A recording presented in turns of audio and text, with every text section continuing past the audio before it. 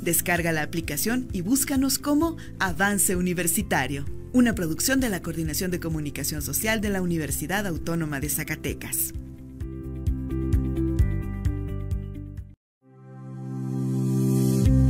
La información, la cultura y la ciencia están a tu alcance a través de Avance Universitario, la revista radiofónica de la Universidad Autónoma de Zacatecas que ahora está en la plataforma Spotify. Escúchanos en todas partes, descarga la aplicación y búscanos como Avance Universitario, una producción de la Coordinación de Comunicación Social de la Universidad Autónoma de Zacatecas.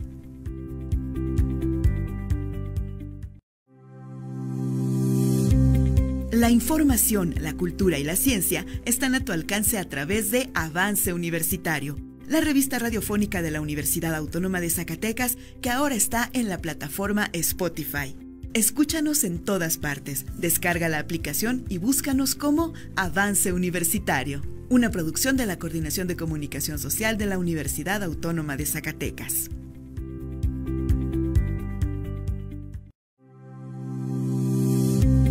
La información, la cultura y la ciencia están a tu alcance a través de Avance Universitario, la revista radiofónica de la Universidad Autónoma de Zacatecas que ahora está en la plataforma Spotify. Escúchanos en todas partes, descarga la aplicación y búscanos como Avance Universitario, una producción de la Coordinación de Comunicación Social de la Universidad Autónoma de Zacatecas.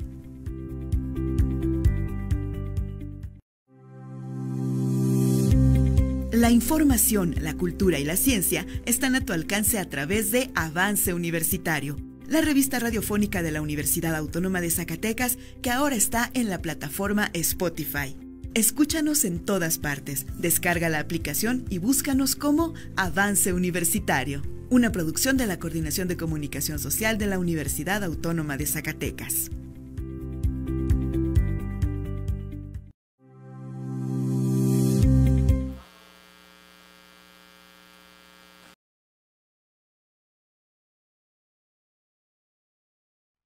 Yo soy Luis, bienvenidos a Jugamos, Opinamos y nos divertimos. Tenemos unos invitados especiales, ¿se pueden presentar por favor?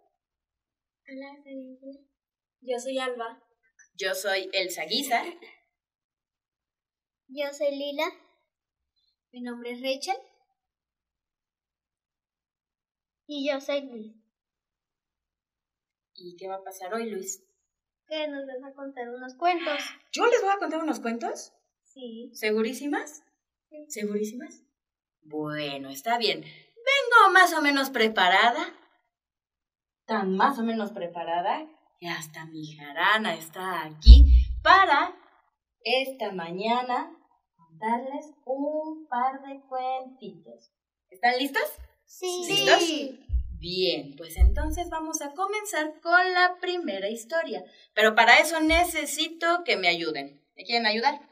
Sí. ¿Traen todos sus manos? Sí. A verlas. Quiero ver, quiero ver que se abran y se cierren, se abran y se cierren, para que calienten y la energía empiece a fluir. Y entonces, ahora sí podemos comenzar. Me van a ayudar con este ritmo que dice... Eso. Esta es la gallina que hace cocorocó, puso un huevo y un pollito nació. Este pollito es pequeño y amarillo, hace pío pío y se llama cocorico. Ahora me van a ayudar ustedes, ¿listos? Esta es la gallina que hace... ¿Cómo hace la gallina? Pío, pío. Cocorocó. ¿Cómo hace la gallina? Cocorocó. Eso. Puso un huevo y un pollito nació. Este pollito es pequeño y amarillo. Hace pío pío. ¿Cómo hace el pollito? Pío, pío. Ahora sí. Y se llama Cocorico. Esta es la historia del pollito Cocorico. Un pollito así, chiquitito, amarillo, muy emplumado y suavecito, que era muy amado por su mamá, gallina. Era tan amado y consentido que un día que se le antojó un pastel, se lo fue a pedir. Y mamá dijo, ay, claro que sí, mi pollito consentido, yo te lo hago.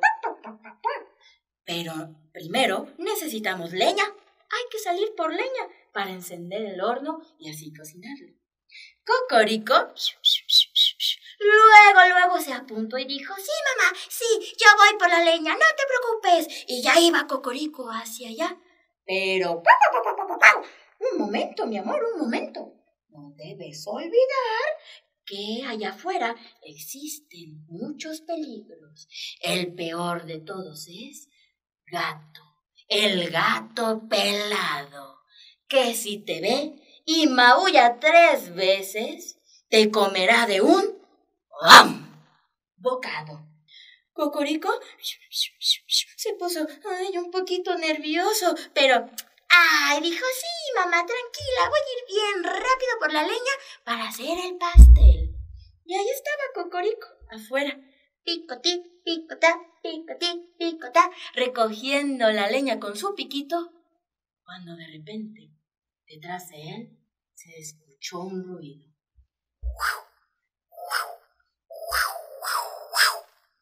Eran unas garras, largas, largas. ¿Quién creen que era? El gato. El gato. Pero Cocorico no quería voltear, tenía mucho miedo y dijo, ay, a lo mejor es otra cosa. Pero supo que sí era el gato porque se escucharon tres maullidos. A ver, ayúdenme a hacer los maullidos. El primero. Pero como si fueran un gato malvado. A ver, el primer maullido. ¡Miau! El segundo maullido.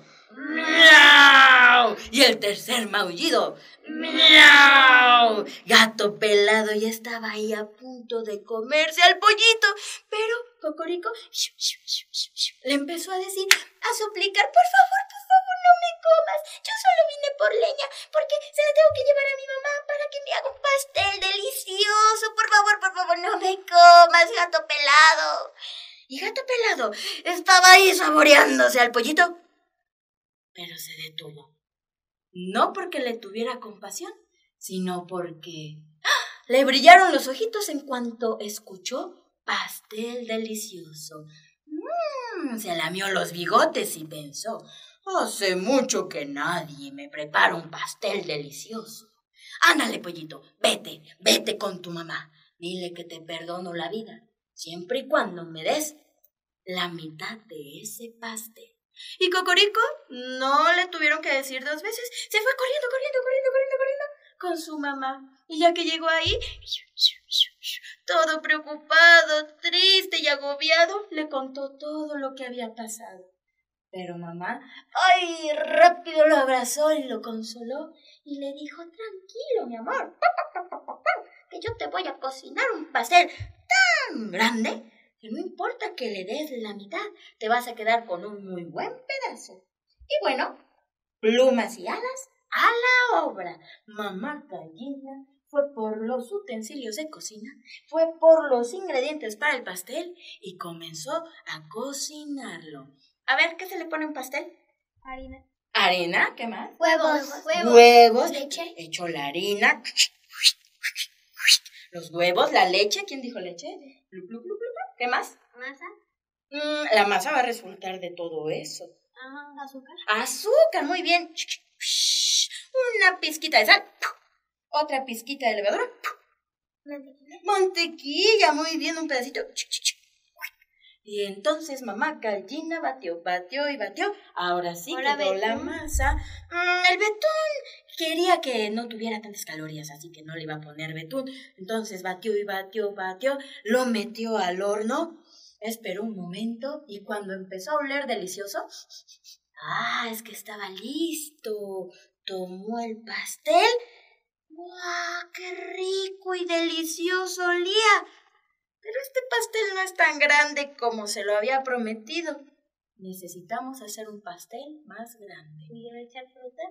Mm, podría ser, pero primero había que hacerlo otra vez más grande. Pero para hacerlo más grande necesito de una, dos, tres, cuatro, cinco. De la ayuda de cinco personas. ¿Me ayudan? ¿Sí? A ver, aquí está mi cacerola bien grandota. ¿Listos? Ahora, a ver, tú le vas a echar los huevos. Échale muchos huevos a la cacerola. Así desde lejitos, aviéntaselos. Eso, muy bien. ¿La leche? Harina. Más harina con ganas para que el pastel salga enorme, enorme. Eso, muy bien. ¿Qué más? Mm. ¿Azúcar? ¿Te parece bien? ¿Azúcar? Por favor. Eso. Allá. La mantequilla, por favor. Parte un pedazo y aviéntala, así alcanza a llegar. Eso, muy bien. Yo le voy a echar una pizquita de sal, una pizquita de levadura, y entonces, ahora sí, a batir. Todos agarren el cucharón y batimos. Batimos y batimos. Batimos y batimos y batimos. Pero si batimos tan, tan lentamente, vamos a acabar mañana. Hay que hacerlo más rápido. ¿Listos?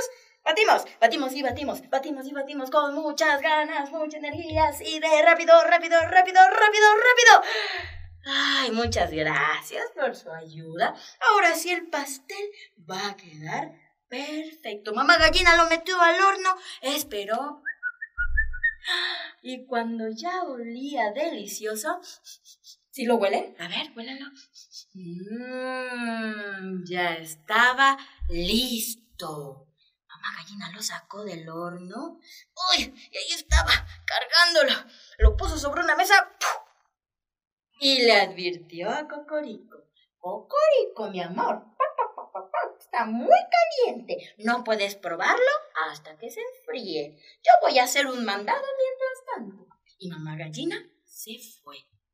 ¿Y qué creen que pasó? Ah, que Cocorico no se aguantó las ganas, se acercó. ¿Lo olió? ¡Ay, huele delicioso! Justo como mi mamá sabe prepararlos. Una probadita nada más, ¿les parece? Una chiquitita. ¡Picati! ¡Ay, qué rico! Una y ya. ¡Picata! ¡Ay, una y ya, se los prometo! ¡Picati! ¡Picata! ¡Picati, picota, picoti, picota, picoti, picota!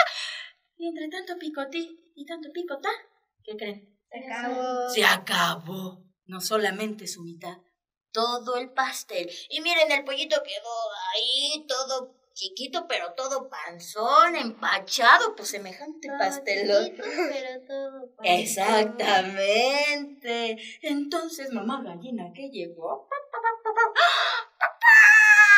estaba muy sorprendida por lo que estaba viendo y ya iba a empezar a regañar a Cocorico, no solo por el pastel, sino porque gato pelado se lo iba a comer.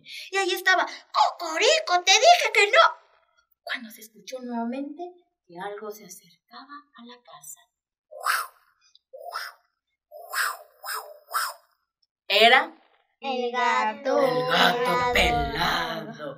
Mamá gallina agarró a su pollito y se escondieron en una vasija de barro. Ahí estaban escondidos, muy escondidos. Pero gato pelado no era nada tonto. Cocorico, que tenía tantos nervios y miedo, empezó a hacer ruido. Y gato pelado. Mmm.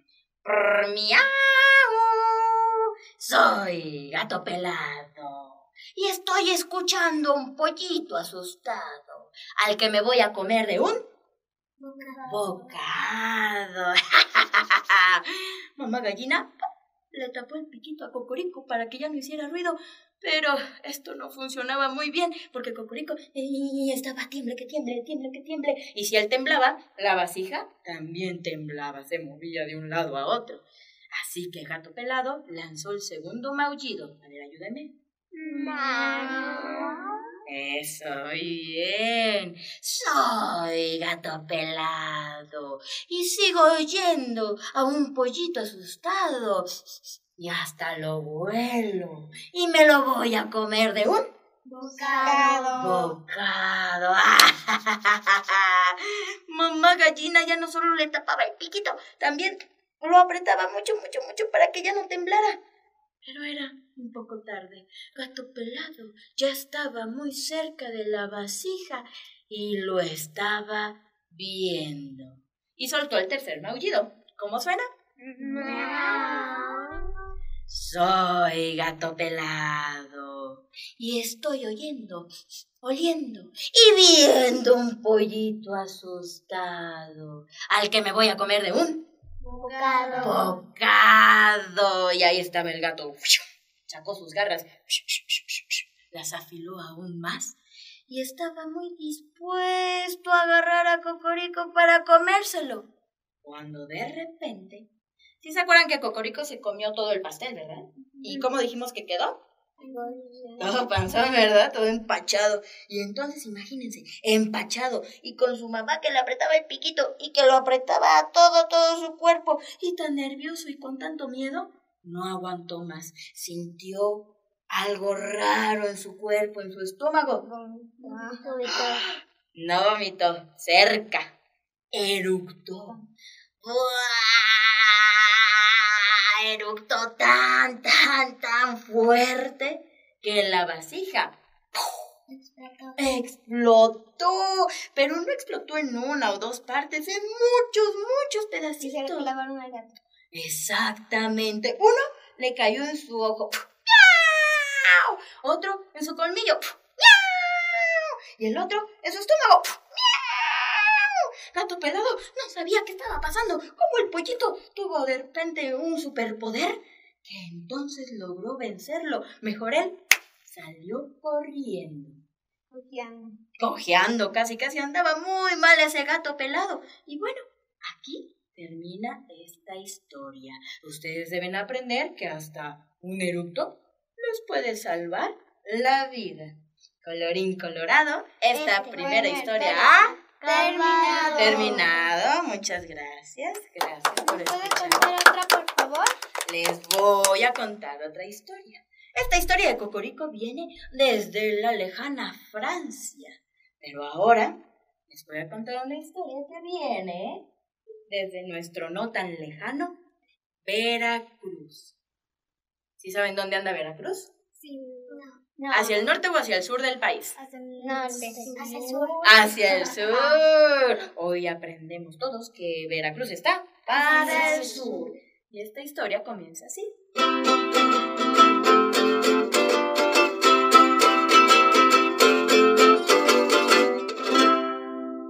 Es la historia de una iguana que vivía en Veracruz tranquilita y tropical, descansando y tomando el sol. Cuando de repente el viento llegó hacia ella y llegó con un chisme. A ver, ayúdenme a que ustedes son el viento. ¿Cómo son el viento? Eso. Y Bembereco escuchaba. ¿Qué? ¿Qué? ¿Qué tratas de decirme, viento? Y el viento más claramente le dijo, Bemberecua, Bemberecua, ¿no te has enterado? Los jarochos están planeando un fandango. ¿Saben lo que es un fandango? No. No saben. El fandango es una fiesta. Una fiesta donde hay bailadores, zapateadores o zapateadoras, versadores, que son quienes la la la cantan, y los músicos. Bemberecua no se quería perder esa gran celebración. Dijo, no, no, no, no, ¿verdad que no? Yo me voy a alistar y voy a ir a ese pueblo. Así que preparó sus patitas, lista para nadar, correr, brincar, pero sí o sí tenía que llegar al pueblo. Y ahí estaba Bemberecua, atravesó toda la laguna, un río, de rama en rama, de montaña en montaña. Y cuando llegó al pueblo, de tejado en tejado, de cerca en cerca, de acera en acera, hasta que por fin llegó a la plaza del pueblo. En esa plaza mm, buscó un árbol y lo eligió. Y se trepó a lo alto para desde ahí observarlo todo. Vio que los jarochos ya estaban ahí reunidos alrededor de una tarima. ¿Saben lo que es una tarima? No. A ver, ¿qué es? Es algo donde se Exactamente, como una tabla larga, larga, donde se pueden subir zapatear. Ahí estaban los jarochos planeando a ver quién hacía los tamales, quién iba a adornar la plaza, quién iba a hacer las aguas frescas para la gran celebración, que faltaban tres noches para eso. Y entre que hablaban y hablaban, uno dijo, bueno, bueno, pero hay que probar la tarima también, tan chula que nos quedó, hay que ver cómo suena. Y ellos suelen bailar con un ritmo que suena así.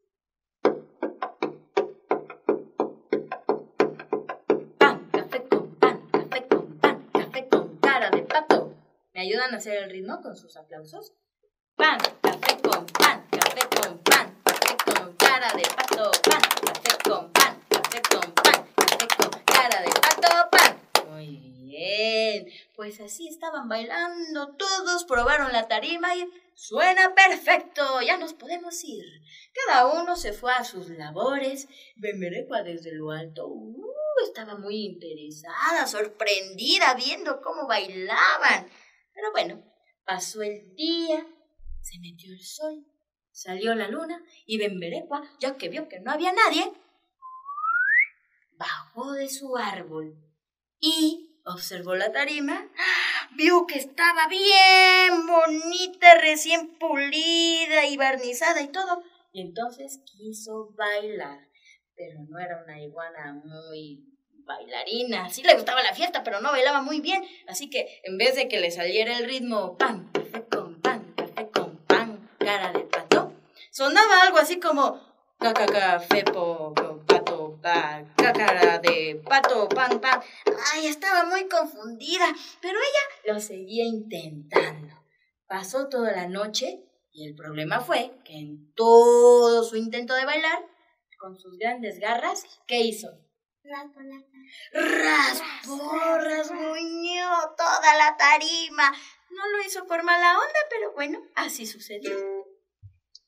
Volvió a subir a su árbol para dormir, porque pues toda la noche estuvo muy activa. Y cuando los jarochos se juntaron alrededor de la tarima para seguir planeando y platicando, ¡ah! ¿qué pasó aquí? ¿Qué eso? A ver, ¿quién de ustedes fue? ¿Quién lastimó la tarima? ¿Fuiste tú? Tú fuiste. ¿Y tú? No, ¿Tú? ¿Tú? No, aquí no hay ninguna iguana. ¿Quién de ustedes fue? No fue nadie, ¿verdad? Hmm, bueno, cuidadito si descubrimos a alguien. Los jarochos volvieron a reparar la tarima, la lijaron, la... ¿qué más? La pulieron y luego... ¿La limpiaron? La limpiaron también. Y la. Exactamente. Quedó perfectísima. Mm, y advirtieron que nadie podía volverle a hacer daño. Pasó el día, nuevamente, se metió el sol y salió la luna. ¿Y quién bajó de su árbol? La iguana. La iguana Bemberecua. Bemberecua. Y dijo, ¡ay, qué buena onda! La, la volvieron a hacer bien bonita para que yo siga bailando. Y entonces, caca, café con pan, tu cara de pato, cara de pato, cara... ¡Ay, todavía no me sale! Pero ¿qué importa? Siguió intentándolo. Otra vez se acabó la noche, Bemberecua subió y los jarochos cuando descubrieron esto se querían arrancar los cabellos. ¡No puede ser! ¿Quién fue? ¿Quién fue? ¿Fueron ustedes? ¿Fueron ustedes? Si no fueron los humanos, fueron los animales. A ver, enséñame a tu pollito. Enséñame las patas de tu pollito. ¡Ay, ese pollito! No, se ve que no fue. Enséñame tu gallo. Mm, a ver. Mm, tampoco fue. Enséñame a la gallina. A ver. Al puerco, las patas del puerco. No. A las patas del caballo. No, tampoco. Esto está muy raro. Mm, vamos a descubrir tarde o temprano quién fue, porque además hoy es la gran fiesta. Bemberecua para ese momento estaba dormidita y no se enteró de nada, de que ellos estaban planeando, pues, una emboscada. Decidieron esconderse. Emboscada, emboscada. Una emboscada, emboscada. esconderse detrás de una roca, detrás, entre los arbustos, detrás de un árbol, todo para vigilar a ver quién estaba haciendo esta travesura. Se metió el sol, salió la luna. ¿Quién bajó? Bemberecua bajó, nuevamente la vio bien bonita y quiso empezar a sacar sus mejores pasos cuando ahora sí sucedió la emboscada. ¿Cómo fue? Exactamente. Ahí estaban todos los jarochos muy molestos. ¡Ah, traviesa iguana! Con que fuiste tú, nunca sospechamos de ti. Bueno, tú sí, pero nadie más habíamos sospechado de ti. Y Bemerepa se quedó quieta, quieta, quieta, quieta, de los nervios y del miedo. Pero luego se relajó un poco y dijo, ay, los voy a encantar con mi super baile. Y entonces empezó acá café con papá, pato, café con, café con pan, cara. Ay, sí me sale, ya lo he practicado, se los juro. Los jarochos se quedaron viendo y se reían un poco. ¡Ay, esa iguana! ¡Qué graciosa es! ¡Ay, está bien! Hay que darle una oportunidad. Pero a ver, hay que cortarle las garras a esa iguana. Entonces trajeron unas buenas tijeras y... Le cortaron sus garritas. Y entonces ahora sí le permitieron bailar tranquilamente. Y no solo eso, sino que ahora sí comenzó el fandango, que quedamos que es una una fiesta. Entonces llamaron a los bailadores, vengan, vengan, bailadoras. Llamaron a los versadores, vengan, vengan, versadores a cantar. Y a los músicos, músicos, por favor. Y dicen que esa noche, además de que nació la fiesta, también nació el son de la iguana, en honor a Bemerecua.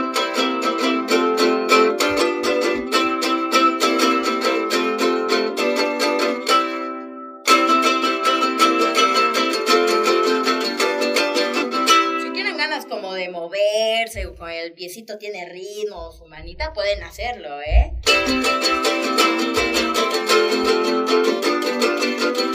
Es aquello que verdea en medio de la sabana.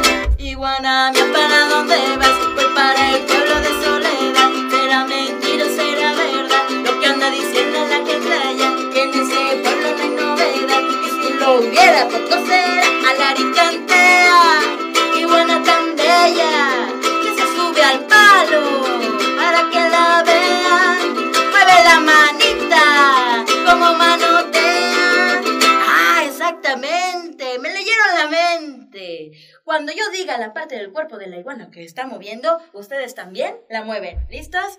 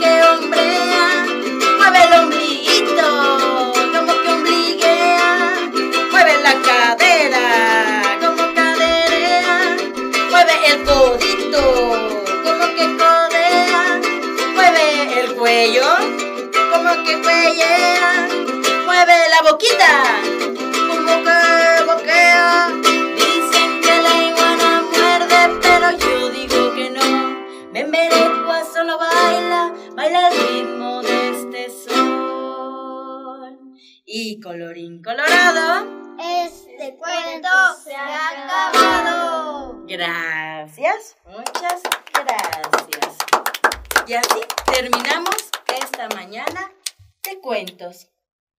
¿Cómo nos despedimos? Pues despidiéndose. ¿Todos? Sí. Adiós.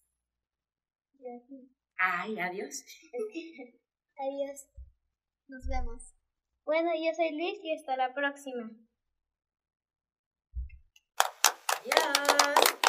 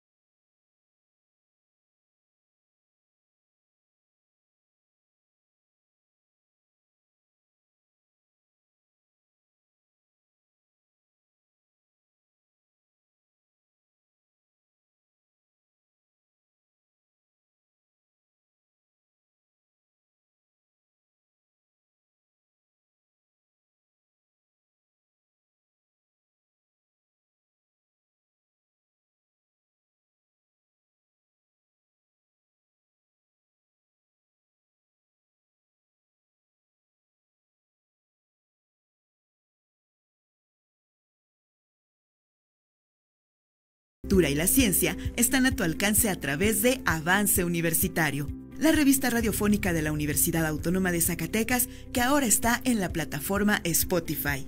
Escúchanos en todas partes, descarga la aplicación y búscanos como Avance Universitario, una producción de la Coordinación de Comunicación Social de la Universidad Autónoma de Zacatecas.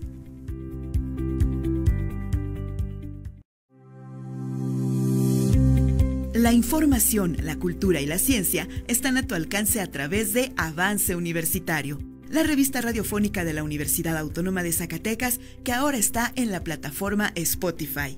Escúchanos en todas partes, descarga la aplicación y búscanos como Avance Universitario, una producción de la Coordinación de Comunicación Social de la Universidad Autónoma de Zacatecas.